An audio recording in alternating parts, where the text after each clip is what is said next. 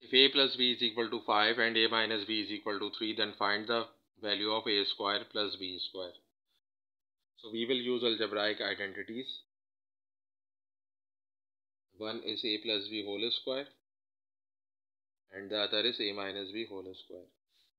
So we will add these two identities and a plus b whole square is equal to a square plus 2ab plus b square and a minus b whole square is equal to a square minus 2ab plus b square. Now we can put the value of a plus b over here. So the value of a plus b is 5 so we will write 5 square and the value of a minus b is 3 so we will write 3 over here. So we have a square of 3. Now a square plus a square is 2a square and 2ab minus 2ab is 0 and b square plus b square is 2b square.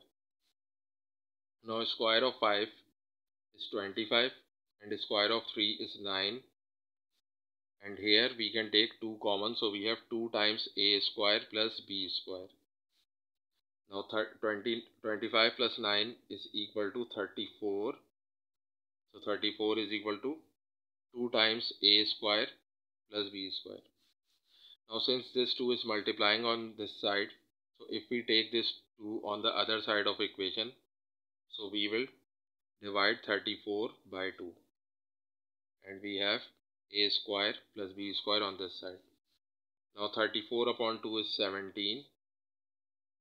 So the value of a square plus b square is equal to 17 and this is the required answer.